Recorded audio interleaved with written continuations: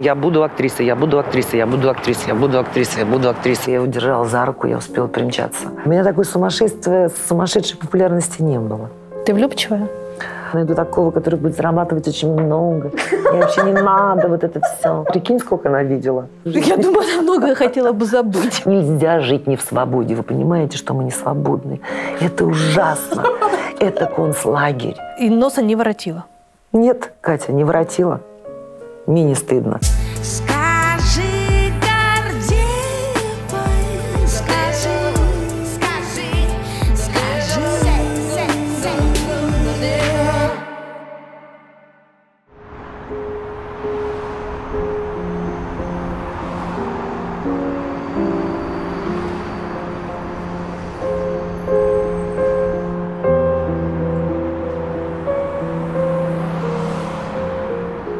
Купила такие перчаточки. Они прям, знаешь, как оренбургский пуховый платок. Мама дорогая, какая вот красота. давай, мы сейчас с тобой замерзли, видишь, руки уже прям, а руки должны быть в тепле. Какие выбираешь?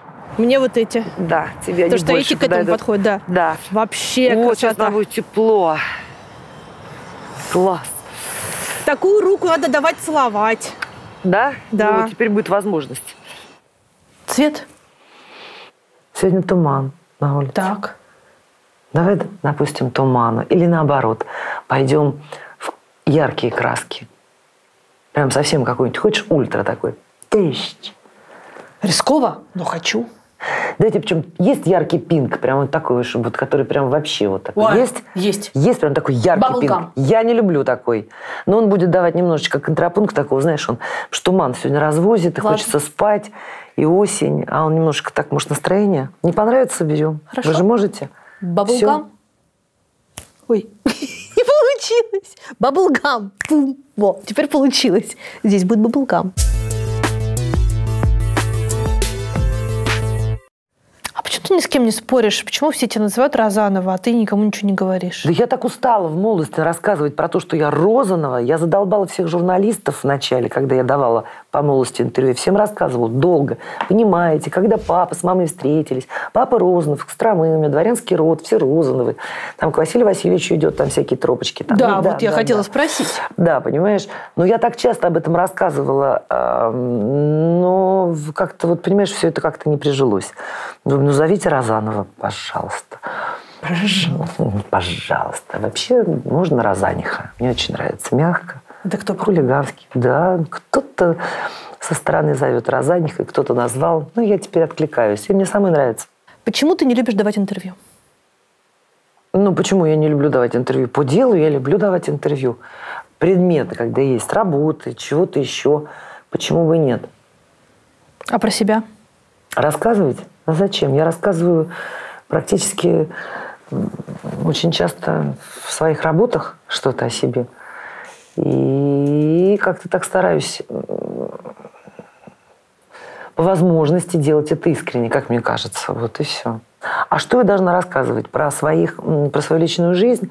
Я это не люблю, потому что э, я не вижу как бы, повода. Я дружу со всеми практически. У меня не осталось врагов. А, Григорий Романович Беленький, оператор, который снял «Дети понедельника», который наша страна уже наизусть знает. Куда не придешь. И мы опять смотрели «Дети понедельника» Сурикова, Ильинична, да. Или наизусть-то не выучили. Мы соседствуем. Кстати, знаешь, это очень прекрасно. Да? И в период пандемии, когда все закрыто, очень у нас так 17-16 этаж, можно салатик передать, супчик. Конечно, конечно. Я вообще ни с кем, в принципе, Не осталось жизни врагов. Это вообще какая-то гениальная врагов. фраза. Нет, у меня не осталось врагов там. Может, у кого-то остались какие-то обиды, а, но нет. Нет. Ты специально что-то делала, чтобы их не оставалось? Ты мирилась, просила прощения или само собой сходила на нет? Ну, а за что должна была прощения-то, по большому счету, просить? За то, что я могла уйти первая? Или что? За что прощения просить? Просто, ну, жили, люди, не случилось, не, не получилось. Но, тем не менее, были прекрасные периоды. Замечательные, тоже мои были. И куда я их дену? Наверное, я могу сказать, что вот почему я ни с кем не ругалась и не поругалась из спутников моей жизни, которых мне, в общем, приписывают еще больше, вот. И почему у меня обиды нет, потому что обида это, как ты понимаешь, это не пози- и это ни к чему, это зачем, то что обижаться не, не на что, потому что я тоже в чем-то участвовала. Вот. А, наверное, мой вот такой, знаешь, нереализованный комплекс вот физиологически, как э, в матери, вот такое материнство, а он у меня, наверное, превышает все, что можно вообще. То есть ты прям жизни. действительно... э, Я э, действительно буду носить до конца, и я буду Ты об рядом. этом и думаешь? Я, я не думаю, я так живу. Почему нет и обиды даже, чтобы там ни было на какие-то это, потому что я все равно буду чувствовать себя больше другом, больше с пониманием, потому что, потому что это так, да, потому что это так. Ты сказала про этот нереализованный комплекс, и я, я спросила, что то есть ты, ты все время про это думаешь, ты все время а, Нет, об этом я не паришься. думаю, я не парюсь, я потому что вот к тому, что ты говоришь, вот ты сейчас, вот ты говоришь, ты, ты как бы со всеми общаешься. Да. Может быть, мне и было на что-то обидеться, но я все это отпустила, и все равно я же понимаю, что Понимаешь, это, как сказать, это, это больше. И я все равно становилась, я знаешь, как в какой-то момент чуть-чуть ты чувствуешь себя женщиной, а потом ты начинаешь чувствовать себя матерью, потому что ты берешь себя в свои в руки и несешь. Понимаешь, как-то у меня было так. Ира, ну это очень тяжело. Это вот ваше поколение. Сейчас такие все очень тяжело. Он должен сам работать. Я найду такого, который будет зарабатывать очень много. Мне вообще не надо вот это все. Что это? Что? Он тебе не купил чего-то? Ты с ума сошла. Ты не женщина вообще. Как зачем ты родилась? Ты хочешь, чтобы я такая была, что ли? Нет. Зачем? Мы же с тобой по-взрослому разговариваем, Катя. Ну, переть на себе вещах. тоже реально трудно. Ну, не переть все на себе. Ну, я вообще просто, как сказать, я, я, я такая, не все на себе, конечно, нет. Все вместе что-то делают. Родители, большая семья, все сама, со скольки лет ты зарабатываешь деньги. Пяти, Катерина. Вот. Если не с эмбрионом мамы, потому что она до восьми не играла. У меня была кукла когда-то, которую купил на свои деньги, немецкая, ходячая. Ходячая кукла. Она умела ходить. Ходячая. Тогда, тогда таких кукол не было, но она ходила. Это кукла, понимаешь? Так ты сама вообще в пять лет пошла в театр, устроилась? Я не устроилась, я просто мама артисткой работала, играла Дженни Герхард по драйзеру, играла главную роль. А девочка артистка заболела. Вот. И я пошла к директору вместе с мамой, сказала, все, я буду играть, я знаю. Я знаю, как это делается. Раз. Да. Да, я играла.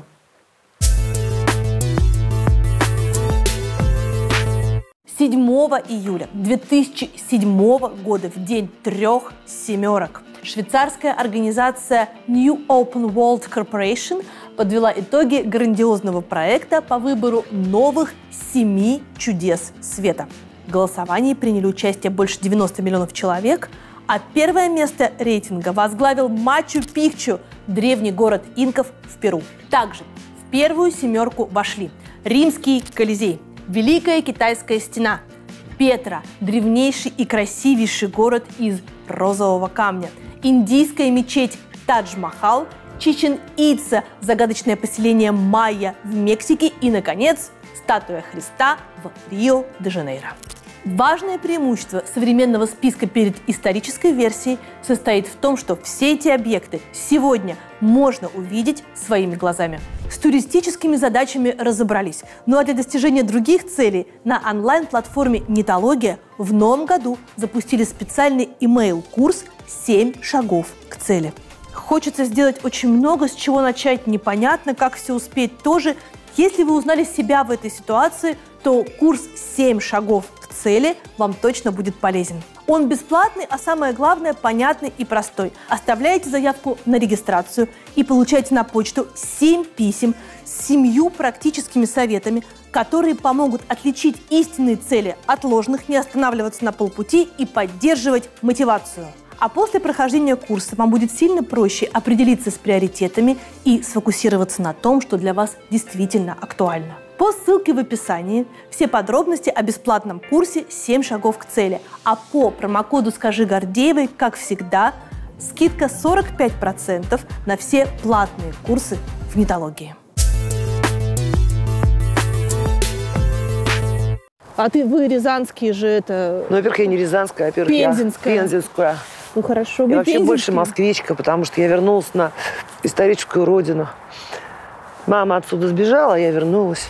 А, то есть это восстановление исторической справедливости. Да, это правда, Катя, Катя. Да, она струсила. Почему струсила? Ну, потому что она заканчивала Московское государственное училище при театре Маленковского. Маму преподавали мхатовские педагоги. Было очень сильное училище. Она э, училась с Ольгой Александровной Аросьевой. Я все время вспоминала, как я Александра Аросьева помогла поступить. А я даже была на передаче когда-то с ней, с Александрой, рассказывала про маму. Говорю, так а «Представляете, почему она сбежала? а, ее оставляли в Москве, но она, я так думаю, струсила. Она рассказывала всегда очень смешную историю. А так как мама была большая театральная актриса и драматически трагическая, то мама еще рассказывала всегда, знаешь, я когда начинаю что-то, вот сейчас, знаешь, как странно, что ты делаешь, я понимаю, боже мой, вот, вот прям совсем все мамина, вот настолько похоже. Иногда ее интонации, иногда ее прямо голос ее. Вот я вот к этому говорю. У нее Она низкий же- был. У нее, да, разные. Низкий. Ой, она там до галерки, конечно. И вот она, когда закончила, ее оставляли, но она пошла на биржу труда. Такая, такие были биржи труда, я сегодня рассказывала. И увидела я Станиславского. И поехала в Кострому работать. Да, в провинцию. Вот. Думаю, что она струсила остаться в Москве, поехала в Кострому. Ну, там она встретила папу, понимаешь. Ну, какое счастье, а то не было бы нас. Ну, а в Рязанском театре она и работала, и с Смоктуновским играла, с Луновым. А я вот не Москва. понимаю, как это Смоктуновский, Луновой оказываются в Рязани вдруг? Понятно, что 100 километров, но все равно. Нет, э, э, раньше как пьесы ставились, например, «Царь Федор Иоаннович». Шла пьеса, Смоктуновский играл в Москве и приезжал приглашенный великий актер играть в театре. Он играл с мамой. Василий Семенович играл, тоже спектакль был такой, из жизни деловой женщины. Она играла такой директор завода, три часа не сходя со сцены, энергии у нее море.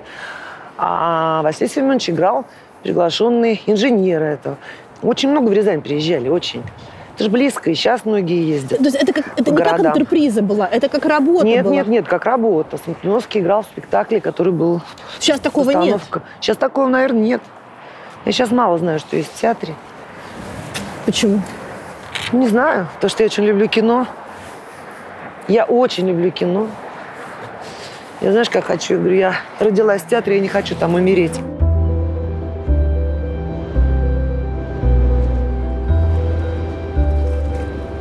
Чем кино лучше, чем театр? Кино чем лучше, впечатлений больше разных. Разных впечатлений больше, понимаешь? Встреч больше разных. Понимаешь, я когда снималась в Мурманске, играла капитана сухогруза. Сама управляла, дали мне порулить сухогрузом, вот это махины. И а у меня папа тралил мины после войны в Баренцевом море. И вот я стою, думаю, что же за это профессия, работа или как? Я же никогда в жизни не попала бы туда и не вышла бы в открытое море. А это прям сумасшедшее ощущение. Ты знаешь, это Рахманинов. Потому что Когда вот это вот махина, вот там вот этот север, прям другая красота. Вот. Как классно с Рахманиновым сравнила. Да, да, да. Но это правда так. Какой абсолютно. концерт? Ну, сейчас сказать не, не надо. А то у меня, по- у меня, по-моему, в литературе была двойка. У меня вот а, с детства я ваше музыкальное училище, я забуду. Нет. Не-не-не-не, сравнить. Я сравнить сейчас не э, помню, тралини какой мин тебе. с Рахманиновым, Ну, это вот, прям Ну, просто вообще. Рахманиновым. Да, ладно? Ладно, Пусть просто с. Рахманиновым, Просто с. Рахманиновым. Вот. Так, чем еще кино лучше, кроме путешествий и встреч с интересными людьми? Ну, а этого мало. По-моему, даже так достаточно. Ну, для актерской профессии, мне Нет, кажется, Катя, я просто недостаточно. честно скажу, я, я много очень работала в театре. Ну, я в пять, я с эмбриона мамы, вот так вот. Мы многие, конечно, э, мамы работали на сценах, сейчас девочки в кино. Но у меня Пашка, брат мой старший, шутит, знаешь, как он говорит, да, растаскала тебя мама. Растряслась в системе Станиславского. Она играла сумасшедшую Лизу в «Детях солнца». Я говорю, мам, ну, есть До же восьмого какая-то... месяца она До восьмого месяца. Говорю, Есть же можно было смотреть на цветочки, прекрасная жизнь. Ну, зачем так-то вот? Вот, и говорит, и, и рожала я тебя, говорит, с анекдотами. Я говорю, спасибо. И выскочила я очень быстро в год Гагарина. Я к чему говорю, что вот как-то брата по-другому носила все-таки. Мальчик на 9 лет старше, мальчикам по-другому относится. Наверное, Павла, Луша. Ну, я уже давно на пенсии от театра. Последний театр это был Кончаловский, да? Да. Аркадина? Да, да, да, это было круто. Как вы с Кончаловским работать в театре, не в кино? Да, мы и в кино работали с Андреем Сергеевичем, потом в глянце. Как и в кино, как и в театре. Но в кино просто быстрее, и в театре также. У нас был... а, когда мы уже там размяли, когда уже мы... это- Ну, Андрей Сергеевич же ставил эту пьесу, да, поэтому у него уже какая-то была конструкция готовая. Что-то было готовое, а что-то совершенно другое, то, что мы искали. Наверное, Андрею Сергеевичу в тот момент понравилось, а мне тоже тем более, потому что как-то я так расхулиганилась, потому что когда я в Линкоме. Я же Инна Михайловну каждый спектакль наблюдала. И играли же. Инна Михайловна играла как играла бы моя мама, наверное. Вот знаешь, как те актрисы, вот когда играла «Неси свой крест и веру», с каким-то с хулиганством, конечно. Но я когда пришла перечитала, знала наизусть, перечитала, пришла к Кончаловскому Андрею Сергеевичу. Это же квинтэссенция нашей актерской глупости. Какая же она ужасная актриса. Она вообще не... В жизни она потрясающая актриса. Там, как это, три букета, два венка и броши, все, и меня принимали вообще. Кто ее принимал? Она очень фиговая актриса, ну, если говорить о профессии. В жизни, да. И поэтому вот эта установка и хулиганство мы очень расхулиганили. И вот и я там приходилось смеяться очень, знаешь, так низко на диафрагме, что очень трудно. Кстати, меня очень еще помогал Хамдамов, потому что он был рядом, когда он пришел к нам делать костюмы, и приходил ко мне перед премьерой, перед спектаклем, говорил, смейся, ты это хорошо делаешь, ты умеешь это делать. Ты смеешься на диафрагме, как оперная певица.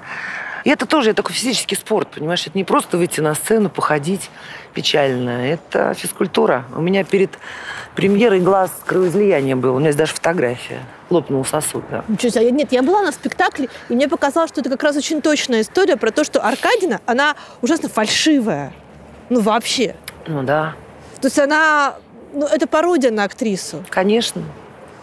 Но все равно вот в то время, как вот понимаешь, все равно, я тебе говорю, там финал еще у нас был замечательный. Андрей Сергеевич сделал финал, по хатовский финал, когда мы играли в лото, она продолжала играть в лото, она пила вино и говорила там это, это, а Костя стреляется, она даже не замечает, что он стреляется. Проходит, потом когда-нибудь ее накроет. Вот это такой страшный был финал вообще спектакль. А музыка Артемьева просто сводила с ума в четвертом акте. Это, это каждый раз вместе с ней умираешь. И, ну, Ёшкин кот. Кончаловский режиссер, Хамдамов, художник по Костюмы, костюмам да. и музыка Артемьева. Да, Да это- это же можно вообще Вот чокнуться. понимаешь, да? О каком театре я тебе говорю, Катя? Нет, я не к тому, сейчас потрясающие актеры, ой, вернее, режиссеры и театр. Ну вот нравится артистам каждый день выходить на сцену. Ну Это нравится. Нет, Катя, мне не нравится. Каждый день выходить на сцену мне не нравится. Когда ты поехала в Москву, э, мама, которая не осталась в Москве, что сказала? Нет, ну я не сразу поехала, и не сразу все это случилось, потому что я поступала два года подряд. Да. И мама э, не, не, не то, чтобы она не хотела, нет, она не то, чтобы этого не хотела. Она просто понимала, что если в этой профессии не э, что-то не складывается, как ты понимаешь, да, то это очень тяжелая вещь. Я даже писала письмо Катин Ярцеву, когда я в Щекинское училище не поступила. Вот, она написала ему письмо, и он ответил. Да, он ответил маме, говорит, я, я написала. Она написала, что я народная актриса такого-то театра, Рязани, все. Хотела бы просто спросить вас, как актриса, может ли моя дочь как бы заниматься этим делом, как вы считаете? Вот она не поступила, и он ответил очень тепло, по-человечески, что, конечно, нужно поступать, но в этом году были такие или такие условия поступления, а ваша Ирина, конечно, должна быть актрисой. У меня есть тетрадка, я не помню, где она лежит, но где-то лежит. Э, Мне Ремис Оскар Яковлевич сделал замечание, когда я училась, поступила в ГИТИС уже. Причем я сделала отрывок, который играла моя мама когда-то. И мне хотелось очень эмоционально, мне хотелось драматически. Я, конечно, там накосячила страшно. Я понимаю, что я там что-то рвала на себе волосы, изображала. Ну, сделала я как-то, видно, не очень. И мне, э, в общем, наш педагог Оскар Яльевич Ремес, замечательный человек, кстати, была я очень благодарна, делает замечательно, замечания. И вот что-то там, это, ну, это. В общем, ругает, ругает. А у меня тетрадь, мы же все записывали тогда, что пишет мастер. Ну, у меня на тетради написано, я буду актрисой, я буду актрисой, я буду актрисой, я буду актрисой, я буду актрисой, я буду актрисой, я буду актрисой. Понимаешь, ну вот чего-то такое получилось из этого, вот как-то так. Большое количество э, ребят там, вашего выпуска, вашего года, того поколения, э, как будто бы 90-е, там вот эти начало 2000-х, их подкосило и выбило из профессии. Это у меня правильное ощущение или нет? То есть мне кажется, что нужно было пережить отсутствие возможности работать, дожить там до какого-то уже более-менее жирненького периода кино и театра, но при этом сохраниться в профессии. И это было очень-очень трудно. Не знаю, как 90-е, там, наверное, безусловно, много потерялось. Но даже вот если взять курс, то э, мой курс – это а, Угольников Игорь, продюсер. Вот. Я знаю, что ну, так очень активно работает, конечно, всегда Ромка Мадянов. Ты же понимаешь, что вот я, я знаю, там девчонки играют в театрах, нет такого большого, как бы у них кино много. А многие вообще канули, я не знаю даже, где они, чего и что с ребятами происходит. Ведь немногие же, да. Сати Сайкянс, ты же знаешь, да, она делает тоже там свои, там, вот. А так мало. Да вообще такая... Знаешь, если не... в- Как в любом, наверное, деле. В любом деле нужен кайф. В любом деле, а в творчестве особенно. Если здесь не быть сумасшедшим, чокнутым, не болеть, не хотеть, не уходить вот в эти сумасшествия, которые почему-то тебе какой-то садомазохизм, честно говоря. Потому что вот как вот можно в 11 надеть костюм, надеть парик, придумать это, а в 4 утра следующего дня снять. И при этом, вот понимаешь, работать и получать вот это, да, кайф. Это же садомаза какая-то, когда голова уже вот так вот, когда все вот так, а ты должна что-то делать. Но и в то, в то же время это кайф, а профессия это не очень, не очень легкая, Ну, понимаешь? я Это скорее, знаешь, нет, я скорее про обиду. Про обиду какую? Про обиду на время, что вот время не дало шанса. Ой, я даже не знаю, потому что у меня нет никаких обид на время. Я могла сняться в какой-нибудь э, комедии, которую я понимала, может, она не невысокого содержания какого-то, может быть. Но это опять моя профессия, понимаешь? Вот здесь я деньги зарабатываю, и мне не стыдно. Мне не стыдно. Вот есть те вещи, когда вот, вот как в другом месте, мне, наверное, стыдно было бы зарабатывать. А у меня работа такая, понимаешь? Кому-то картина нравится, кому-то эта картина вообще вот безумно не нравится. То есть ты, понимаешь? когда получаешь сценарий, ты скорее согласишься, чем откажешься. Нет, не всегда. Я отказываюсь очень часто. у тебя огромная, преогромная я фильмография. думаю, сейчас такой- уже у детей больше, чем у меня, Катя. Перестань. Ты сейчас пишешь ребенка, у него уже под 200. Думаешь, малыш, когда ты успел? Тут уже, да, не-не-не, не очень. Ну, я, да, я снимаюсь, это правда, я снимаюсь. Я люблю кино, я И ты снимаюсь. снималась вот в тот момент, когда никто нигде не снимался, э, я имею в виду 90-е, когда кинематограф был специфическим, если так Да. аккуратно сказать. Да-да-да, я снималась. И носа не воротила. Нет, Катя, не воротила, Почему? потому что это моя профессия. А остаться без заработка, но вот не предать идеалы Чего? школы Станиславского? Какого Станиславского? Я тебя умоляю, это все... Простите, пожалуйста. Какого Станиславского? Станиславский, думаю, если бы жил бы сейчас, тоже бы рассказал много интересных вещей. Но ты снялась э, в художественном фильме «Крымский мост». Зачем? Во-первых, я не была в Фейсбуке вообще. Я не знала, что происходит в Фейсбуке. Я туда очень поздно пришла, в соцсети.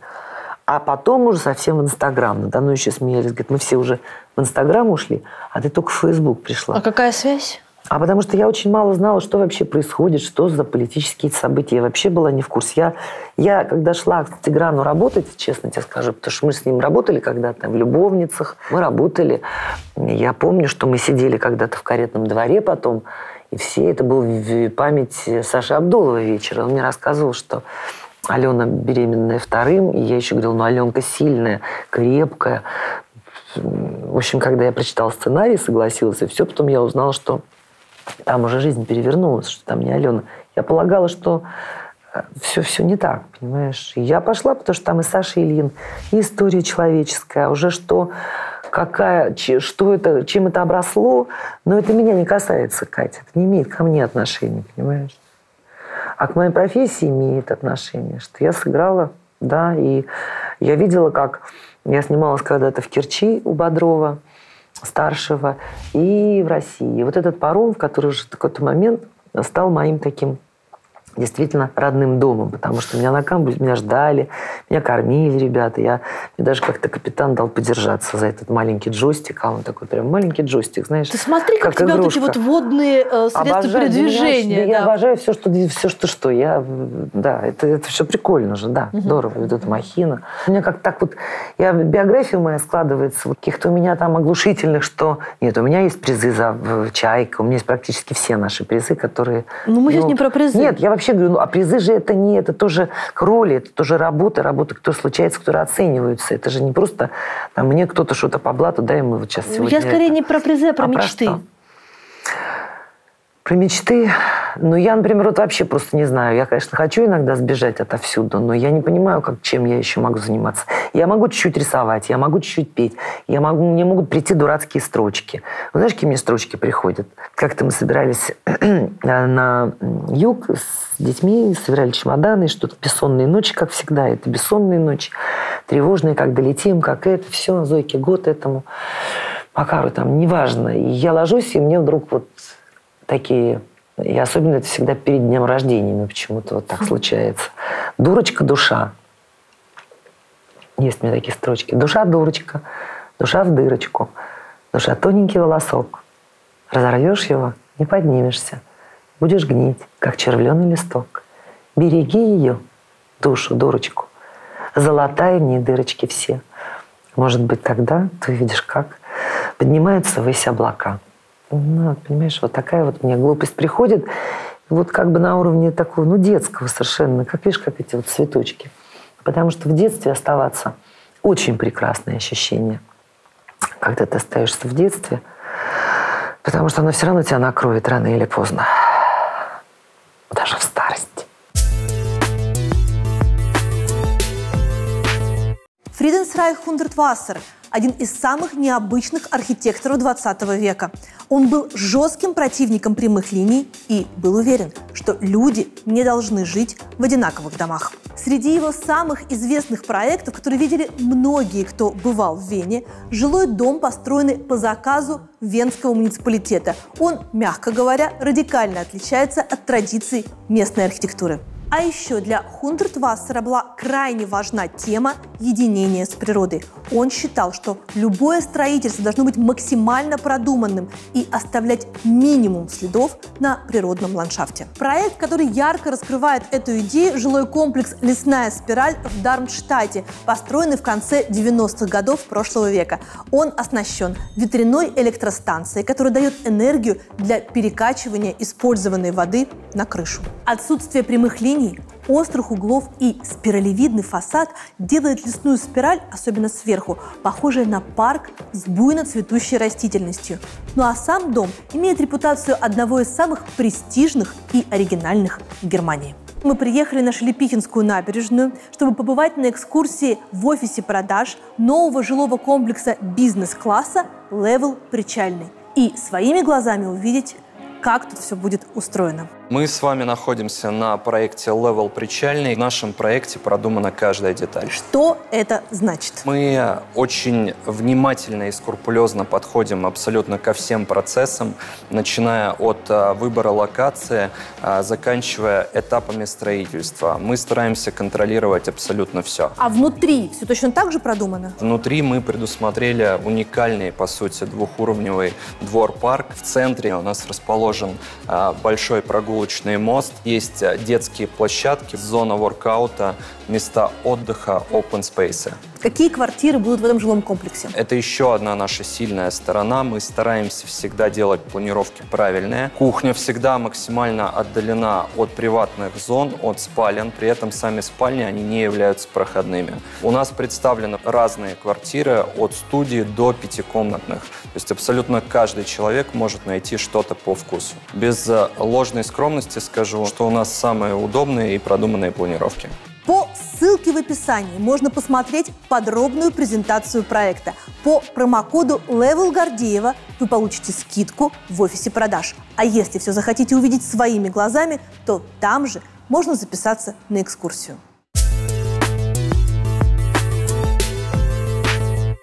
Ты одна из первых э, актрис, которая начала сниматься так серьезно в сериалах и знает, что это такое. Э, еще тогда, когда это считалось, в общем, довольно стыдно. А Сейчас э, можно ли описать, в чем разница в подходе да, э, к работе над ролью между сериалом и полным метром? Ну, сериал это просто дистанция длиннее, конечно. А так, ну, никакой разницы. Вообще нет разницы работы театр, кино, куда бы я ни пришла. Вот какая разница, театр, кино? Есть разница только, есть только одно. Если я что-то начинаю делать, если мне это в кайф заходит, и я получаю удовольствие, нет никакой разницы. Где ты работаешь вообще? В театре, в кино, на телевидении. Это правда, что ты э, притащила Гундареву в петербургские тайны? Это наоборот Гундарева мне сказала, Ира, не будь ты, прости, пожалуйста. Да, не будь такой глупой, потому что мы озвучивали с Натальей, Наташей на Мосфильме картину, и как раз в Пчелкино были пробы на петербургские тайны. И тогда я, конечно, как и все актрисы, молодые, многие, это не сейчас, я говорила, нет, Наташа, говорю, я не знаю, Пчелкин зовет, это телевидение, это сериал, нет, я хочу ролей, хочу большого искусства, хочу больших ролей. Вот. Она говорит, знаешь что, ты не будь дурой-то. Потому что это Крестовский, да, понимаю по мотивам Крестовского, это классик, это Пчелкин, Леонид Аристархович, который в то время был просто, ну, просто классиком уже экрана, понимаешь? Это экран, потом это популярность, потом тебя увидят очень многие, тебя будет смотреть страна, и не только у нас. Ты голову включай, сказала мне Наталья Георгиевна, и таким образом, это Наташа мне помогла. А вы с Гундаревой дружили? Нет, мы не дружили, мы просто вместе работали, а как-то так получилось, что я пришла в Маяковку после ГИТИСа. Наташа была, в театре Маяковского Наташа была, да, и она вообще была очень удивительным, светлым человеком, сильным, конечно. Наташа могла послать очень просто и конкретно, и по-честному. Вот так вот. Но а, мне Наташа очень помогала, потому что, как так ни странно, у меня был ввод, такой спектакль «Агент 2.0». Тогда был это мюзикл «Веселье на люстрах». Просто это просто, да, это такой был мюзикл очень известный. И у нас был вот, водили другую там актрису, и были интриги, как в театре, уже даже не хочется мне 300 раз рассказывать. Вот. А я что-то сидела и долго ковыряла в носу, где-то там на задних рядах, вот так сидела и думала. И как бы не сильно-то я прям так вот водилась. Но даже меня как-то перед показом позвала к себе и говорит, значит так, в театре интриги, как всегда.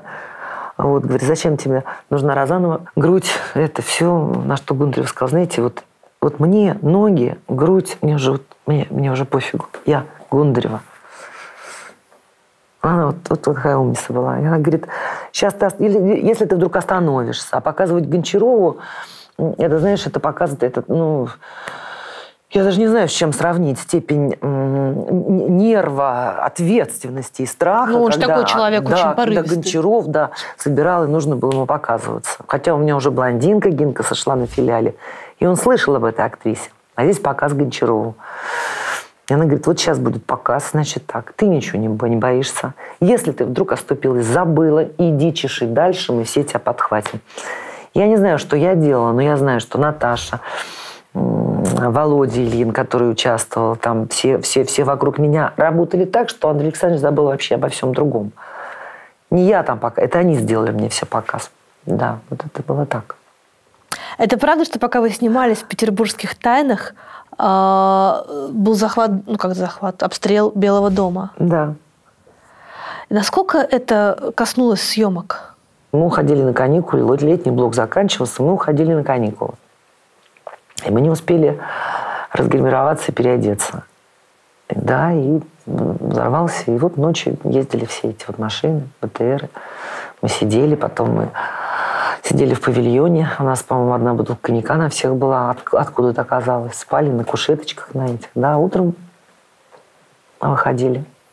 И вы просидели где, получается? в павильонах, в, в этой, в комнате в нашей, где вот все эти комнаты, где группы находились. Потом сказали, вы с ума сошли, идите в павильоны, да. Потому что это, это было рядом, правильно? Я- я- Все, да, все рядом, все там, прям в теле, все прям вот там, прям на глазах все. В телецентре Останкино. Да. То есть э, в тот момент, когда там проламывали окна, бегали, значит, все Да. спецназовцы, и то захватывали телецентр, то его освобождали, вы все это время провели там.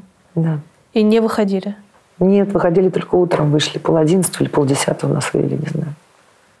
У тебя от этого такое отвращение к политике?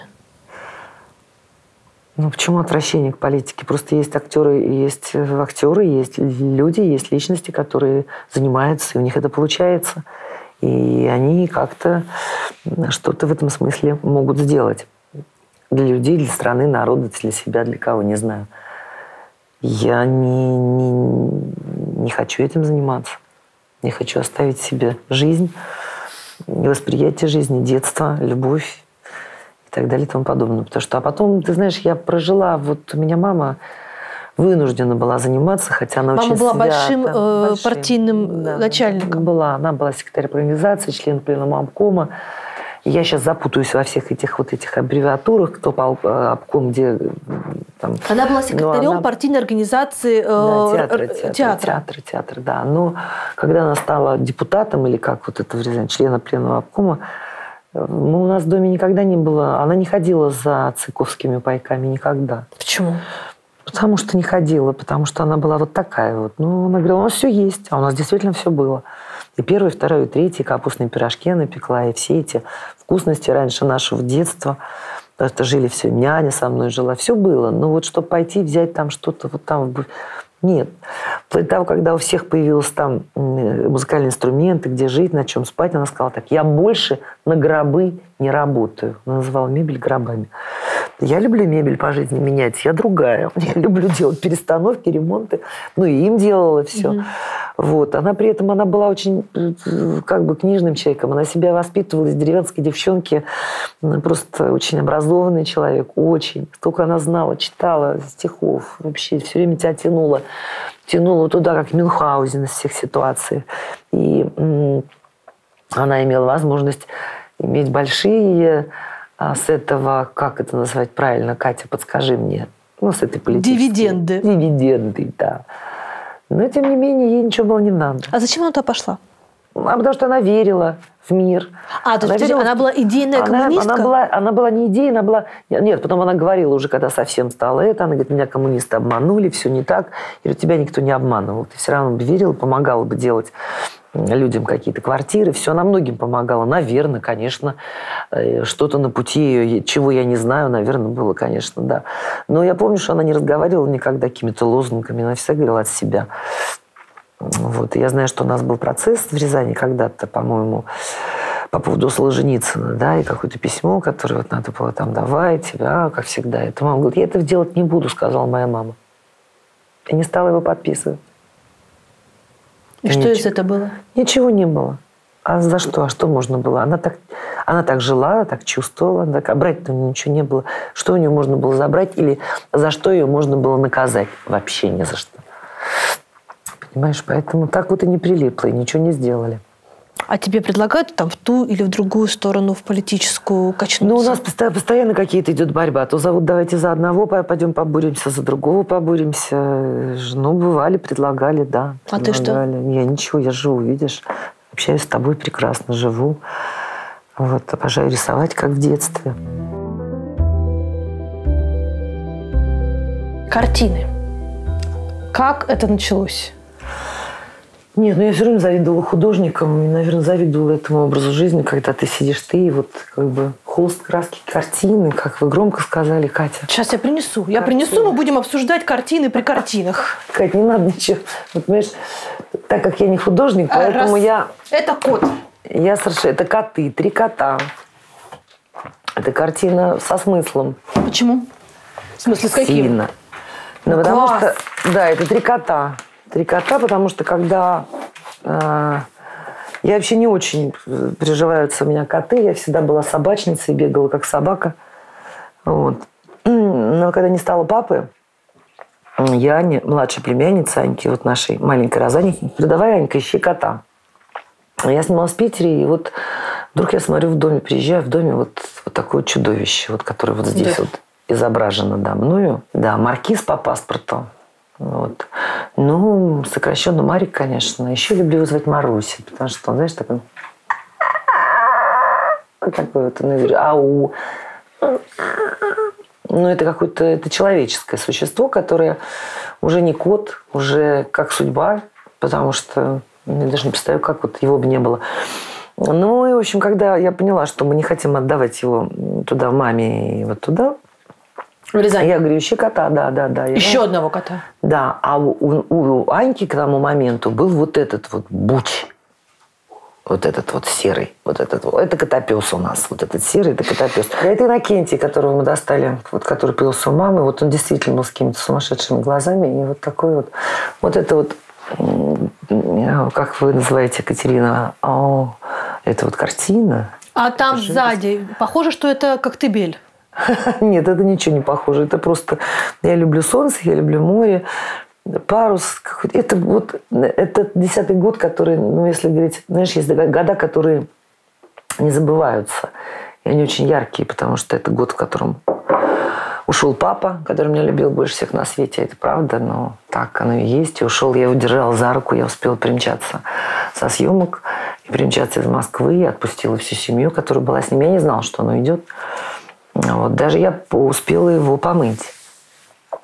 Понимаешь? То есть А вы успели попрощаться? Я всех отпустила и говорила, он тяжело, с трудом.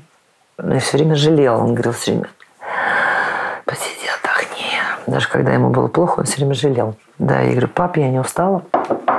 Я его как-то это все. И я не знала, что он уйдет. Это было март, это был март, это еще время такое противное. Вороны аркают, каркают. И очень интересно, там молодой врач, который, я говорю, по-моему, он ходит. А я видела, когда мама, ну, я видела, что вот, как знаешь, я не знаю, как это назвать, как это правильно. Ну, видела, когда есть момент, когда с человека начинает жизнь уходить. Это вот кто знает, это да. Знаешь, вот этой левой рукой, перед тем, как уйти, папа показал наверх, вот так, широко открытыми глазами, вот так. Я говорю, папа, что там, папа, кто там? Я врача а куда он показывает? Ну, это такое, знаешь, это такое вот состояние, когда не, не понимаешь, что спрашиваешь, не понимаешь, что дальше. Когда вот это вот он прям вот так вот туда вот показал, ну, понимаешь. Молодой врач убежал, он опустил руку, и вот как цветок вянет, да, когда вот он прям так, и вот так я видел, как человек ушла жизнь. Я поцеловала его руку, у него здесь якорь был, потому что он у меня моряк. Это, это сейчас могу сказать, что это благодать, понимаешь? Вот Какая это красивая благо. смерть. А потому что он любил меня очень. Я для него девочка вторая. Это рыбалка, это грибы, это все. Это ко мне часто. Батька это эмоции в период возраст, знаешь, когда мы взрослеем с батей, а, мы ругались, там эмоционально спорили. Это действительно вот так вот, понимаешь? И это, да, я, любимая его дочка, держала его за руку. И это мой любимый папа. Я ходила по коридору и говорила, если я вот так вот, мне вот судьба, вот такой момент случается, да, вот что я должна вот в нем поучаствовать была. Хочу что-то сделать в профессии. А, это, а где еще? Я хочу высказаться. И пришла Фурцева. Я не знаю, какой была политик, э, действительно, Катерина Алексеевна сейчас, ну, по-разному, все, даже не про это. А эта история был, в общем, женский очень. По-женски. По-женски, да, там же судьба женская. Там у тебя музыка чего так орет? А, поняла, поняла. От жены прячешься. Угу. Да я хоть сейчас готов сказать ей, что люблю только тебя. Когда мне пришла вот роль Фурцева, я же так что-то понимала, что кому-то понравится, не понравится, но это не важно. А чисто по-человечески, что я могла знать о ней? Ничего же не знала. Поэтому Да? я ходила, но нет, ну я много читала, мне много рассказывали, меня даже познакомил продюсер Лева Карахан с Мариной, с внучкой, что еще больше ответственности положил мне мои, на мои плечи, еще больше. Вот. Хотя в сценарии там было все написано. Я к чему говорю, что мы с моим старшим внучатым племянником, крестником Егором, он тогда был маленький, сейчас он студент, здоровый, вот такой вот, вот красавчик. Вот. А ездили на Девадевичье кладбище, и э, покупали астры, привели могилу в порядок. И да, я тоже поговорила. С Фурцевой? Да. А как? Ну, а, А как? вот ну да, Про может быть, Фурцеву это же ужасно кажется- интересно. Это же вот, ну мы все все говорим про феминизм, да, то есть 50 но она же по-настоящему первый большой государственный деятель, женщина. Да. При этом это человек, который руководит культурой, не особо в ней разбираясь. Да. Как это? Ну, ты знаешь, как тебе сказать, наверное, много минусов, и кто-то считает, что кто-то кто, кто-то не любит, кто-то считает, а, но она сделала очень много хорошего. Ну, так не бывает. Например? Она, сделала очень- она построила очень много кинотеатров, очень большое количество кинотеатров. Я знаю, что старая, старая гвардия, может быть, той же, которой сейчас и нету, Большого театра, они все с уважением Екатерине Алексеевне относились, потому что Бельфорцева был большой, были связи. Ну, любая политическая фигура, это, знаешь, как... Ну, зачем об этом говорить? Ну ты папина дочка. Ну, как тебе сказать, я, я не могу, да нет такого папина, мамина. Просто в какой-то момент, ну, мама, действительно, мы с ней очень похожи. Знаешь, как мама все время говорила, какую-то работу она посмотрела, а мне всегда интересно, ну, конечно, понимаешь, да, родители, когда в профессии, она говорит, Ирка, ты уже умеешь какие-то вещи, которые я, но ты научилась уже тому, вот этого я никогда не сделаю. Понимаешь, это как-то... Поэтому батя, батя, да. И папа все время говорил, знаешь, уже когда там в возрасте, я говорю, батя, папа, как дела, папа? Он говорил, дочь, не было бы хуже. Знаешь, вот такая установка веселая, да. И уже когда нога, уже там ноги болели, а уже нам там было 80, там уже 2, 83, мы за грибами все равно шли. Это что? Я очень люблю грибы собирать. Да, и я обожаю. Нет, папа книги писал, пел так, что Кать, ну, там все штабелями должны были ложиться. Они вообще красивые пары были. Очень эмоциональные. И за 60 лет их совместной жизни было, наверное, ого-го, сколько эмоциональных моментов. Потому что когда папа не стало, и мама говорила, вот, ну уже когда совсем там тяжело, и возраст, она говорила, вот, у него точно в этом городе ребенок. Мама, говорю, я честно скажу, что у него должно быть в каждом городе по ребенку, потому что вот такой генофонд надо поднимать. Мы с братом очень красивые. Ну, как можно было пошутить еще? Правда, они были... Был очень красивым человеком. Когда он мне показал, я тебе рассказывала, да, вот сейчас эту историю, вот я должна была вынуждена поехать, похоронив, на съемки, и потом вернуться обратно, но я летала на машине, я смотрела вот туда, в облака. В облака не было никакого, знаешь, такого тяжести, ужаса и вообще какого-то кошмара. Это были вот такие облака, и батька, и туда, и, знаешь, вот такое вот, да. Что после смерти? Жизнь. Точно? Абсолютно. Откуда ты знаешь? Что я хочу в это верить, и мне на все остальное наплевать, на все теории. Я знаю, что это не может просто так закончиться. Эксперимент под названием «Жизнь» наверняка что-то есть. Безусловно. А потом, ты знаешь, я же, я же вот, например, тебе расскажу, вот, так как я с какого-то момента стала очкариком, где-то к 45 у нас, ну, к 50 в семье у всех генетически зрение стало ухудшаться. Раньше я видел, как кошка, стопроцентное зрение, как правило, оно потом падает. Я вижу, и тебя так прекрасно вижу, да. Вот ты причем там в расфокусе в таком. Но когда появились очки, я сначала...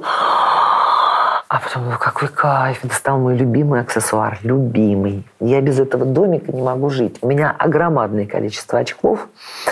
И вот я недавно собиралась на передачу, у меня есть еще одни очки.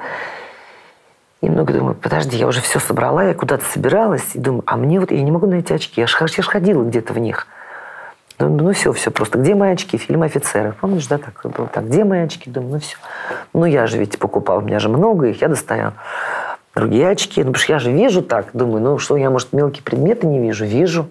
Не потому что я прям вслепую хожу. Ну нет и все. Ну нету.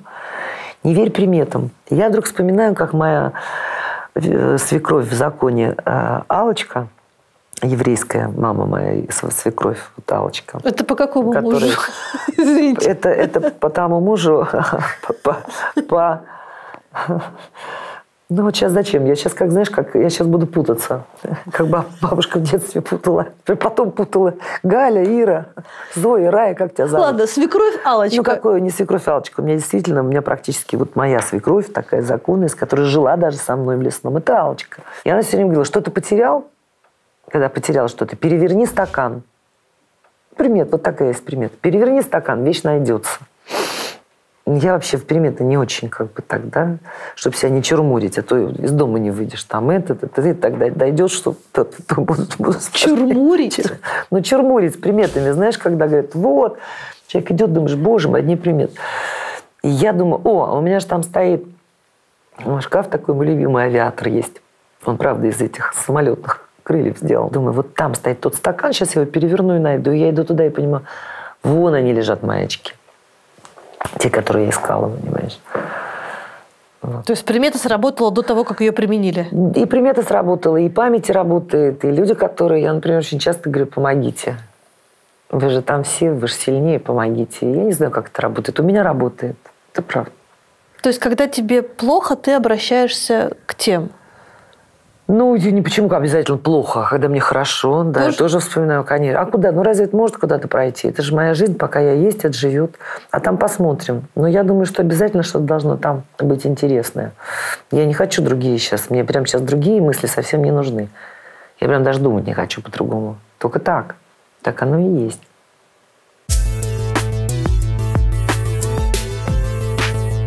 А это вот мне очень нравится, тоже такая веселая. А это рукой или... Рукой этими водными красками, где рукой, где так, где вот отходил. Но я чувствовала себя художником большим. Это вообще я чувствовала себя где-то, где-то, ну, не совсем, но, наверное, где-то как близко к Ван Гогу. Нет, это действительно, это, знаешь, это такой потрясающий релакс, когда, или как это назвать, год десятый трудный, я уже говорю, вот это все связано с этим годом, когда И папа ушел, и была вот эта вот работа, а потом была еще Катерина о- в Питере с Сашей Балуевым. И было такое, помнишь, завещание Петра Картина, неважно. Такие роли эмоциональные. И, и мне зимой просто вот надо было просто, знаешь, куда-то уйти в какой-то мир. А чтобы так я сейчас сяду и как художник что-нибудь нарисую, нет такого. Есть сейчас не рисуешь больше? Ну, сейчас еще не- нет. Но они у меня дома есть всегда с детьми что-то приезжать. Мы рисуем червяками, с броварятами маленькими. А, Червяки – это кто?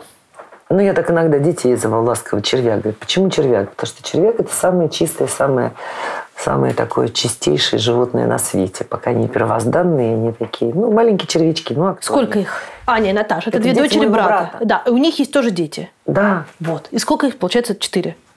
Вместе. Трое. Трое. трое детей. Трое. Все. Фу, Я, я, я распутала этот клубок. И ты глава этой семьи. Нет, почему? Ну, нет, нет, нет. Я, я скорее Дед Мороз или Веселый праздник, или Скорая помощь. Выбирай, что тебе больше нравится. Нет, мы все дружны. Ну, Егор уже, у него своя жизнь, у него уже сейчас два, он здесь в Москве, у него движуха. Маленькие, конечно. Нет, мы, у нас всех свое пространство, что счастье. Это счастье, когда у детей есть свое пространство. Я всегда хотела вырваться из дома. И я понимала, я никогда не буду жить с родителями. В 15-16 я говорила, я сама, я все сделаю сама, мне ничего не надо, я сама. Ну, так с установкой сама-сама я так и иду весело по жизни. По сей день, Катя. А это правда, что в Москву ты переехал со своей няней вместе? Нет, няня просто всегда была. А чего тут переезжать-то? Мы все рядом. Мы тут, господи, Ну раз-два, и мы дома. Я просто не знаю, где уже. Все стерлось. Рязань, Москва, Кать. Это же не расстояние там до Риги. Или уехать там в. Сибирь. Или Новосибирск. или- Я жила в Москве. Бабушка у меня в Дмитриеве. У нас все родственники в Москве. Я в Рязани как выросла. Мы все время ездили в Москву смотреть спектакли. Я не знаю, где я больше жила. Ну, это практически... Ладно, с няней до какого и- возраста жила Александр Сергеевич? а, до какого? Да нет, это долго со мной Елизавета жила, долго. Кто-то звонил, говорит, да, был момент, позвонили, говорит, а кто это взял трубку? Это Ирина няня. Говорит, как столько лет, и все няня. Нам с Пушкиным повезло. Вот Это я правда. говорю, да. Да-да-да. А что была за няня? Ой, она была фантастическим человеком, она была какая-то а, с Костромы, такой качихой, стахановкой, действительно, очень такой, да, она очень много зарабатывала по тем временам. Она влюбилась, эм, знаешь, такие были вот покло- поклонницы, да, вот она как-то увидела маму в театре, и вот она влюбилась в нашу семью. Вот, а ее семья была абсолютно бескорыстная. У нее была мама, которая, знаешь, так Кострома, они так вот разговаривают все. Вот эта мама бескорыстная абсолютно, которая говорила, Виска, ну что это у тебя, чулки-то вот у тебя, вот эти вот фельдеперсовые-то, да, узойки простые, рваные там, все. Ну, она же артистка у нас, ты что, она же артистка, дочь какая хорошая артистка-то. Ты чулки давай отдай, ты себе еще там на это, на, на, наткешь, наткешь себе еще это. Или часы тебе, золотые, Лизка, тебе не нужны часы золотые. Зойке-то отдай, а Зойка-то артистка. И вот это, это какое-то вообще... Это тоже судьба какая-то. Потому что, ну, как это объяснить, когда Па- Павлика воспитала всю жизнь, Елизавета жила с нами, а в один день родилась с ней я. В один день, Кать. Она не, своей семьи не создала, она все просто... Это моя вторая мама. Это мои первые колечки, платьица красивые. Она работала в костюмерном, э, костюмерном, потом в реквизиторском.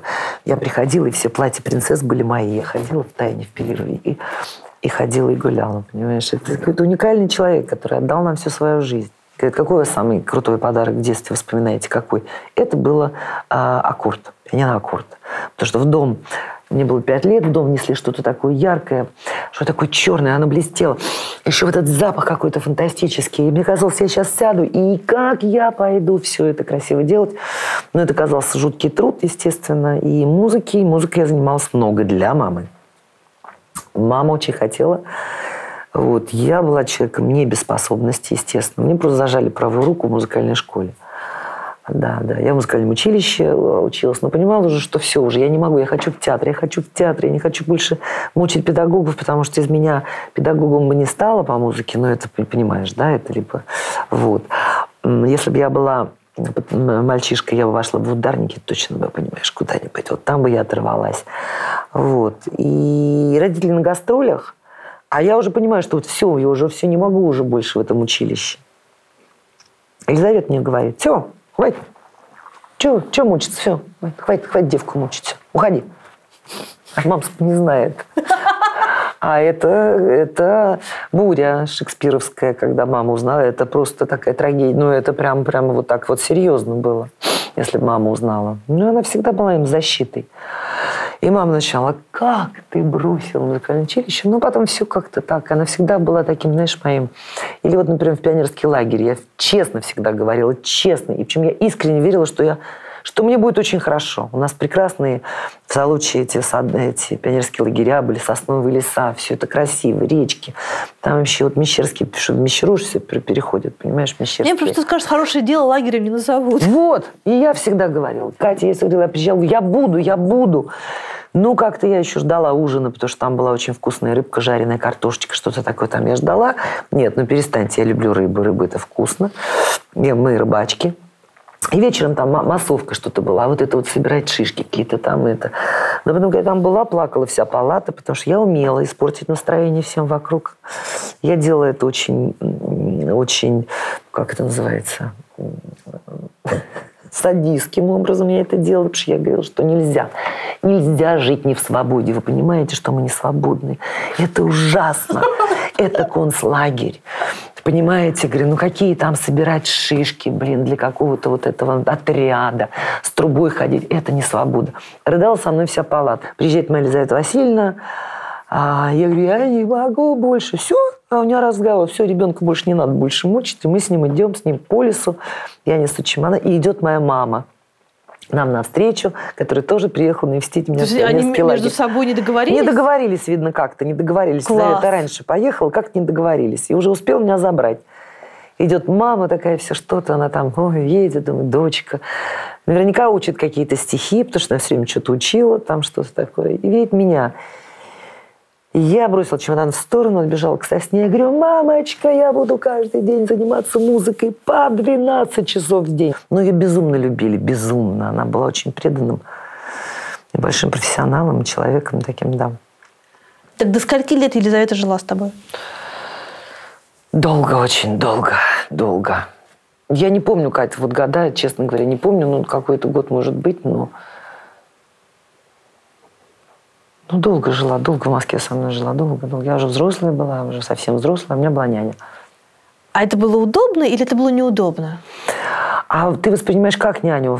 Вот как? Вот, понимаешь, у меня был большой дом, она жила, и как неудобно? Неудобно почему? Как большой дом? Это же были съемные квартиры. Ну, у меня были съемные квартиры, но у меня когда-то был в- большой дом. Он был не мой, но был. Ну, мой и не мой был, поэтому она там жила, да. Ну, когда-то у одного из мужей был дом 900 квадратов, два дома. Я очень этого не хотела. Там был огород, я понимала, что эти кир- кирпичи – это что-то очень большое.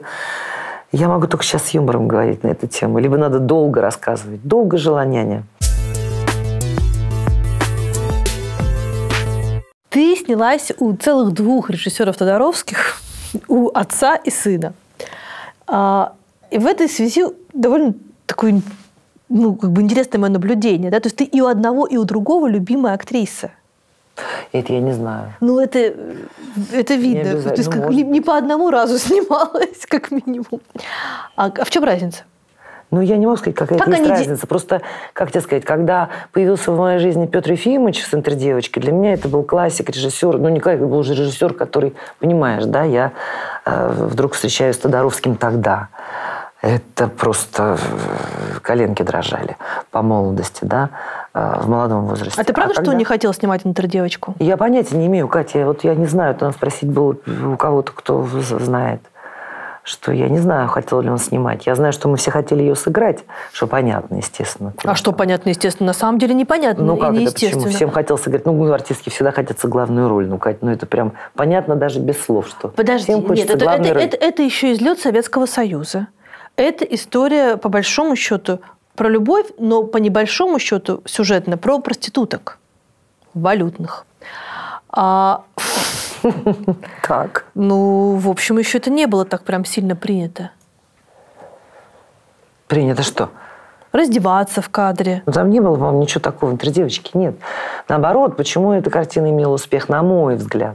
Прям такой, ну, э, в- как сказать, она и сейчас эту картину многие любят, пересматривают, и актрисы все замечательные, уже что говорить, это время. Тогда просто мне кажется, те, кто не читал книгу и кто не знает произведение Кунина, да, все побежали быстро посмотреть про проституток. Как это интересно. А какие они И проститутки? профессия новая, что называется. А все же Петр Ефимович всегда снимал про людей.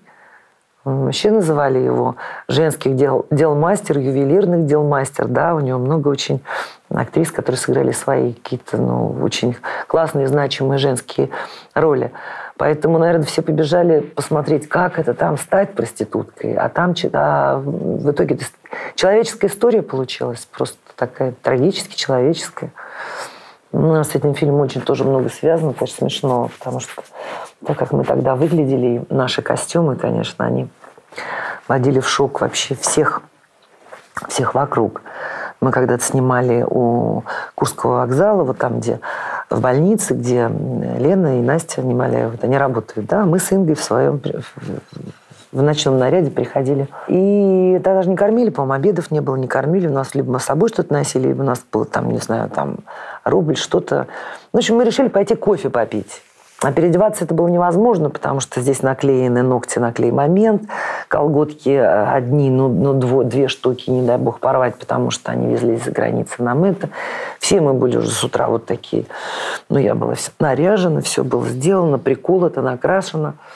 Мы с Ингой шли с Дабкуной-то впереди, а девчонки шли сзади в белых халатах. Может быть, так приостанут там людей, когда белые халаты видели, понимаешь, может, может, было ощущение. Но народ прям действительно останавливался. Мы так достаточно долго прошли. Вот магазин Людмила, по-моему, какой-то есть, да, там. Мы-то зашли в кафе.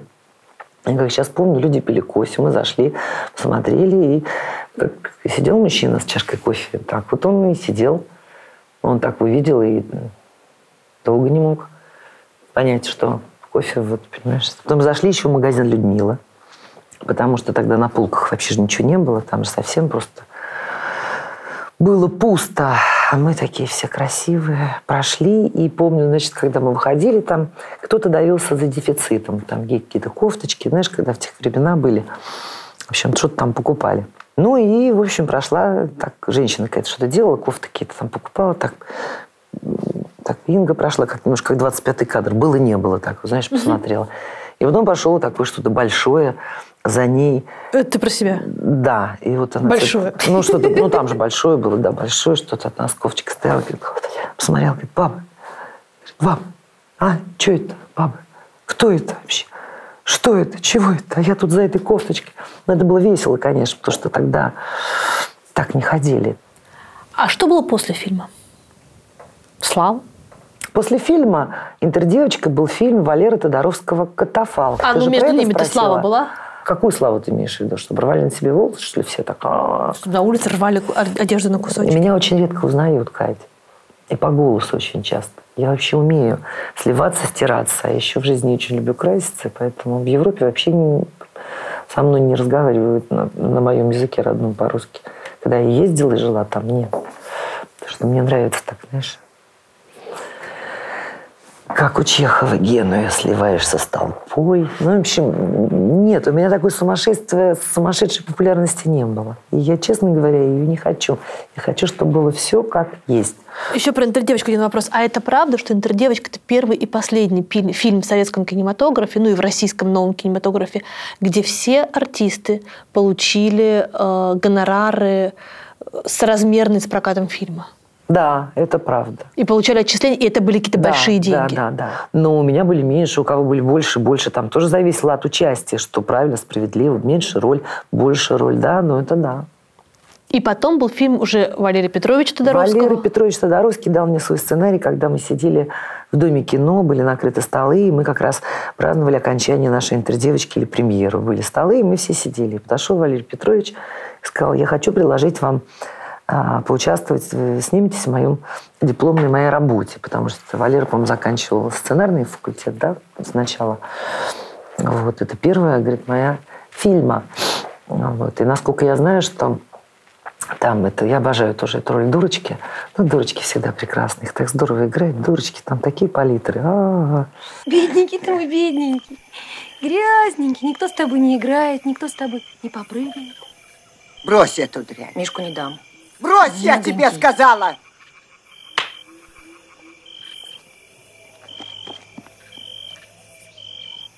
Валерий говорили, я знаю, что Валерий говорит, ты с ума сошел, откуда это, что Сима Гулливер, вот это вот все, вот это вот сумасшедшая Маша. Но я очень люблю эту работу, это время, это, Я помню, шла на киностудию Горького встречаться с Артман. Коленки дрожат, думаю, Артман, Артман, Артман. Артман, да. Ну, открылась дверь.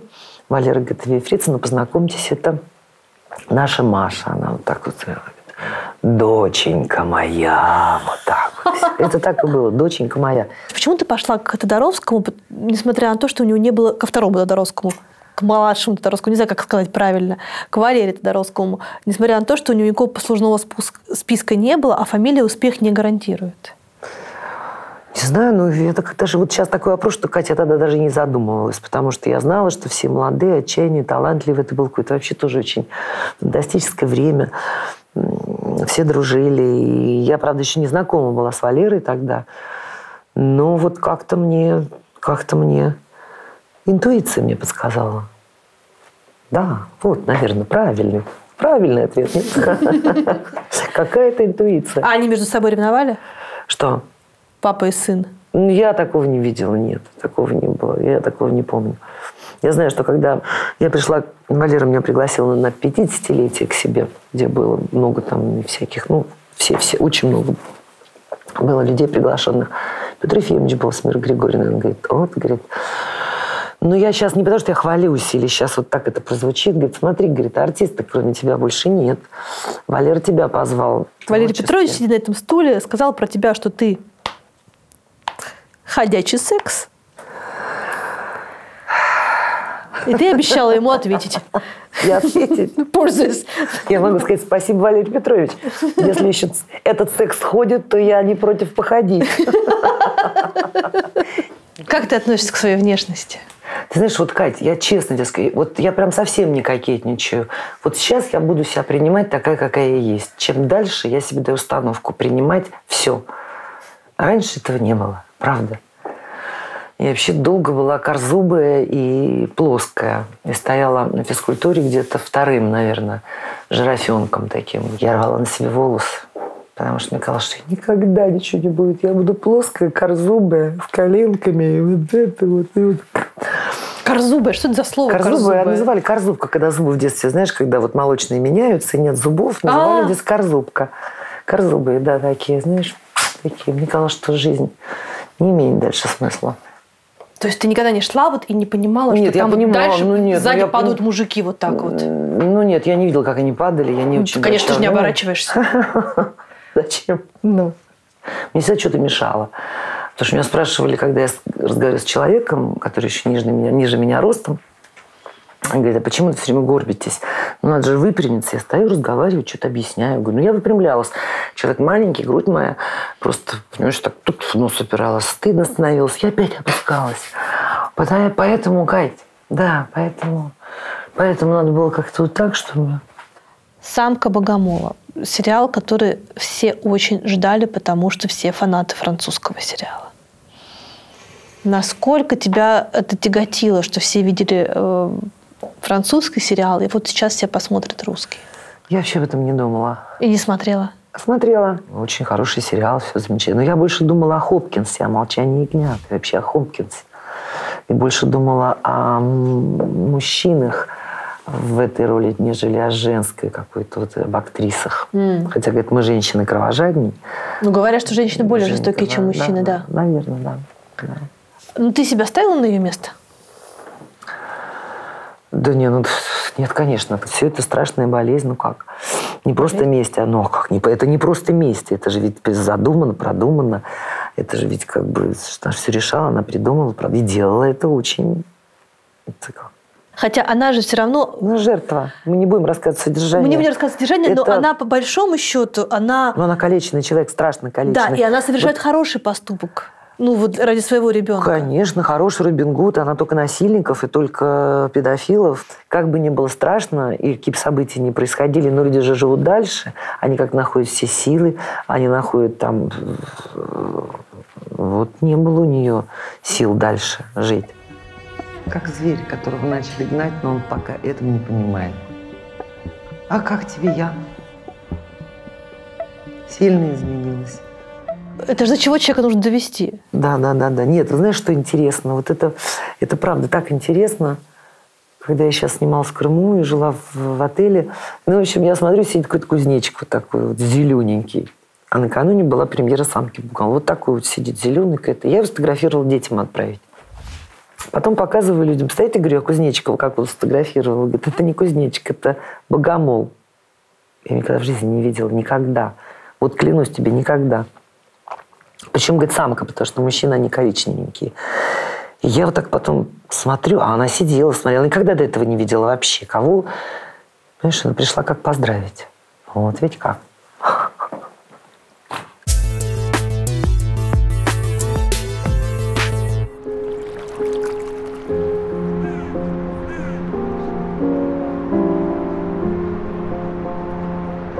А насколько правдивая история о том, что э, в театре на Малой Бронной, когда был э, главным режиссером Женовач, он создал вокруг себя такое актерское сообщество, что это был там чуть ли не такой идеальный прямо организм, механизм.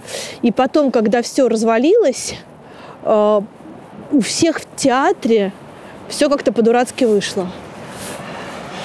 А, ну, начнем с того, что любая команда, которая собирается, таких примеров немало, это всегда другая немножко эне- энергия. Существует какой-то срок команды, которая имеет энергию, потом все-таки что-то что уже проходит, понимаешь? И это факт, и это, как правило, все, все команды. А у нас такой был э, монастырь, хотя на Бронной, когда мы работали, работало очень много актеров э, с театра Бронной, тех, с которыми хотел Сергей Васильевич работать, понимаешь? Это же все, все-таки художник, с кем хочет, с тем работает.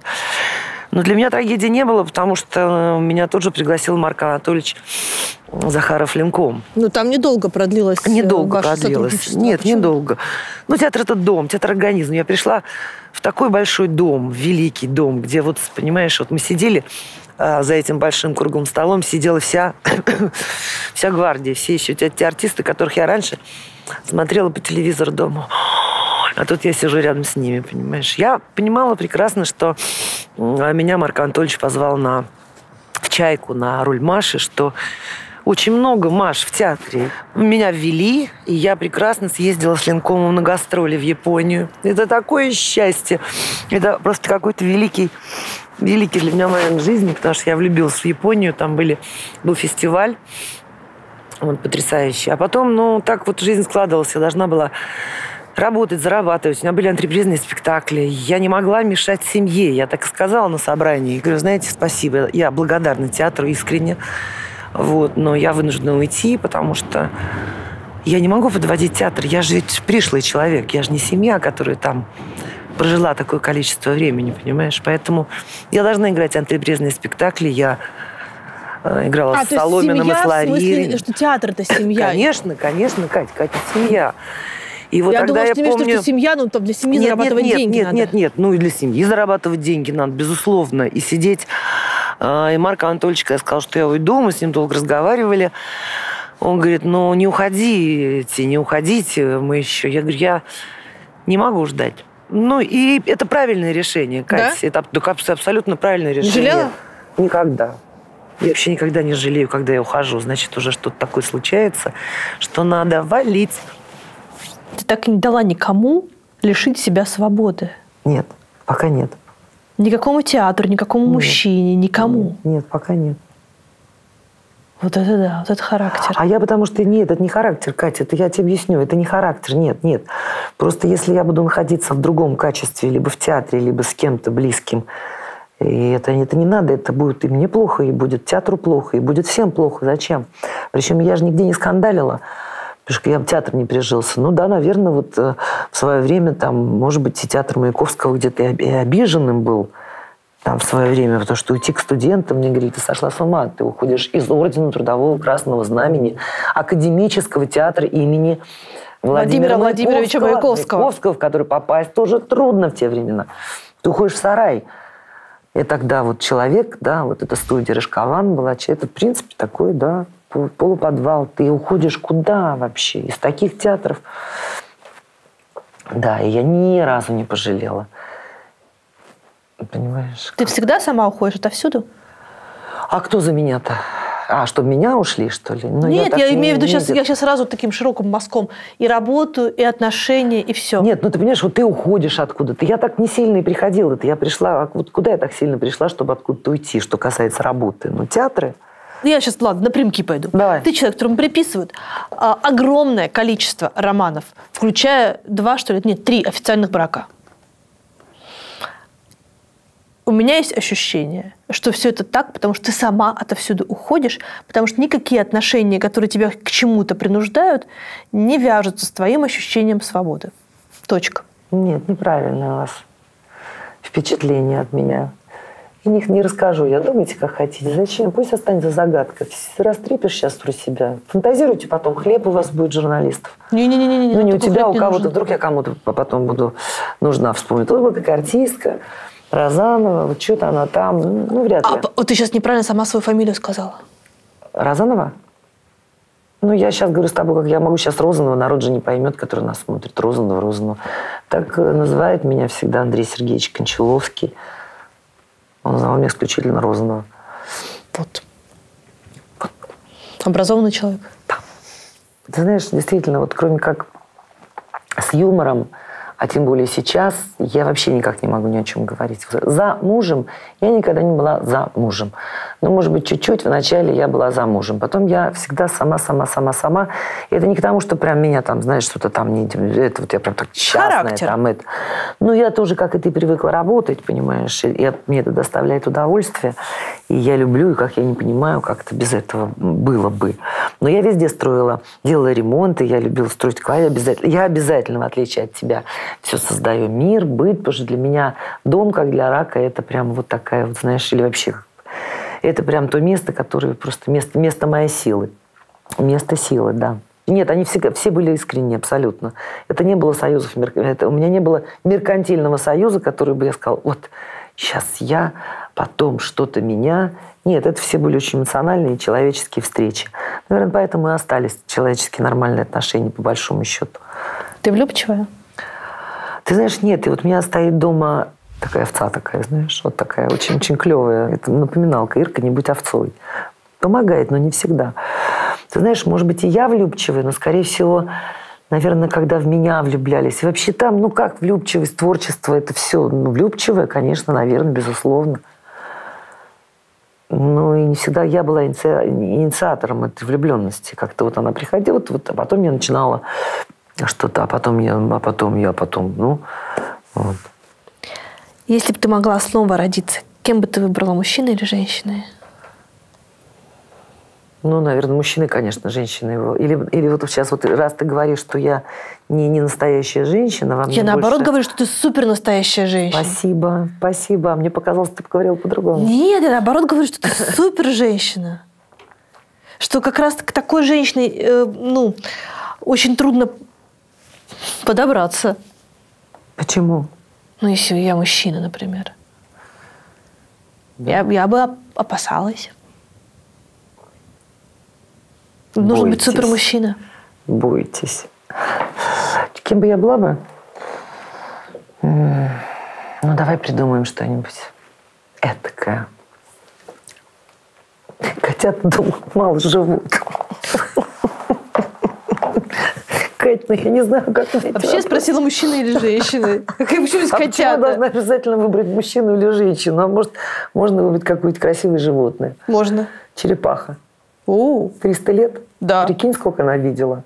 Она точно знает ответы на многие вопросы в жизни. я думаю, она многое хотела бы забыть. Я пришла бы мужчиной. Как ты думаешь, могла бы ли бы быть президентом России женщина? Да вряд ли. Почему? То есть могла бы или, или может стать? Ну, России это, одно- это один и женщиной? тот же вопрос. Нет, ну могла бы. Почему? Конечно, могла бы. Ну, может ли? А вот это я не знаю. А ты бы хотела быть президентом? Я? Да. Не с ума ли вы сошли, Екатерина? Я же так никуда не захотела пойти и не хочу. Меня в комсомол с трудом приняли два. Жды принимали, а не хотели принимать. Почему? Ну, там, э, конечно, человеческий фактор сыграл, естественно, потому что у меня была первая любовь, очень красивый, Сережка Пантюшин. Это было прям, он летчик. Потом летчик, я в артистки пошла. Но он был Как меня. красиво! Да, да, да, это очень красиво. Сережка фантастический человек.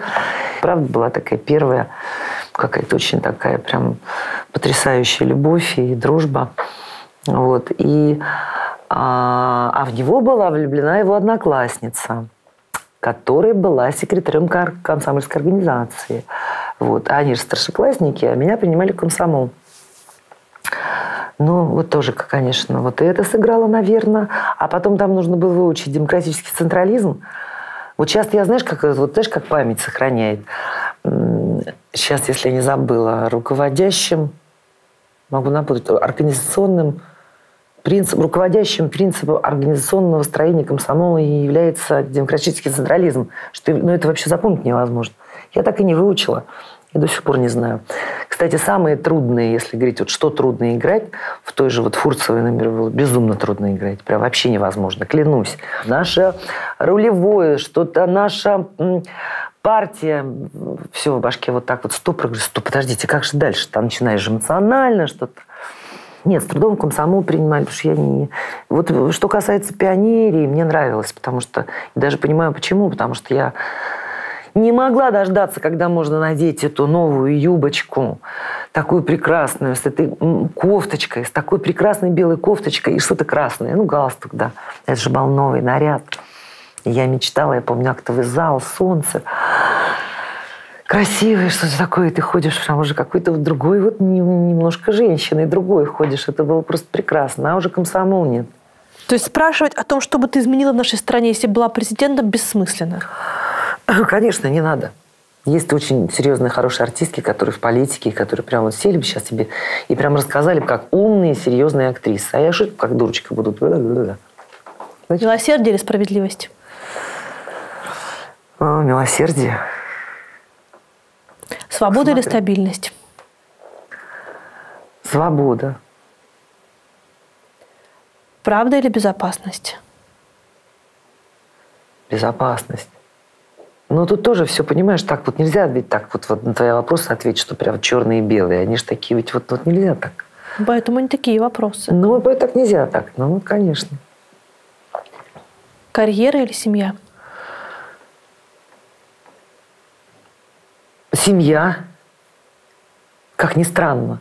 Я объясню почему. Потому что даже когда я ездила сниматься в 90-й год, когда никто не работал и не было работы, я ездила сниматься в Майами к режиссеру Ирон Джану а, в комедиях, которые не, как вот ты говоришь, не гордость моего послужного творческого списка. Да. Понимаешь, может быть, но народ любит, а это уже другая тема. Вот. Но я же знала, что у меня семья. Я же делать не, не- не для карьеры ехала туда. Это была семья, и мне нужно было помогать. Понимаешь, поэтому вот как, конечно, семья. То есть Потому что если бы у меня было много денег, прям так совсем, прям вот еще что такое, знаешь, что я вообще бы не работала. бы. да, Мгм. ты бы смогла не работать? Да. Конечно. То есть вот это вот все то, что ты мне последние два часа рассказывал про профессию, которую ты так Нет, это любишь. замечательно, там- Кать. Ну, ну, я бы тогда находила те, вот это вот тот кайф профессии, когда я действительно могу... э, я не могу сказать, что я вот прям так чешу там везде, во все тяжкие. Даже наоборот, я отказываюсь, э, не буду прям обижать проекты, потому что сейчас они очень сильно прозвучали, и денежные. Я прям действительно реально отказывалась. Потому что это не мой формат, и мне это не, не заходило. Мне казалось, это совсем не мое. Понимаешь? Сейчас скажут, дурочка, это зря, это что? Может быть, и зря, но это вот... Я отказалась когда-то от сватов, да. Я просто даже не стала рассматривать эту историю, хотя это любимая еще народом. Я знаю, что это такая история, которая долго кормила и артистов, и всех. Но просто вот жили-были картина, скорее она ближе ко мне, вот «Облако рай», чем вот «Сваты», вот по даже по, понимаешь? «Облако рай» мой любимый фильм. Да, да, да, да. Поэтому, Кать, да, поэтому это все семья. А что ты еще спросила сейчас? Карьера или семья? А я говорю, семья, конечно, семья. Семья. И всегда только семья, Кать. И ничего, кроме семьи.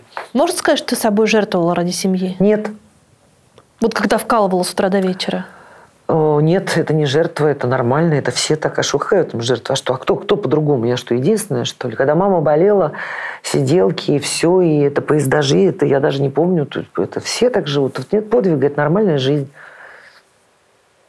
Нормальная жизнь. При всем при том, что не всегда работа очень интересная, все равно, все равно можно из любой, ерунды придумать что-то интересное.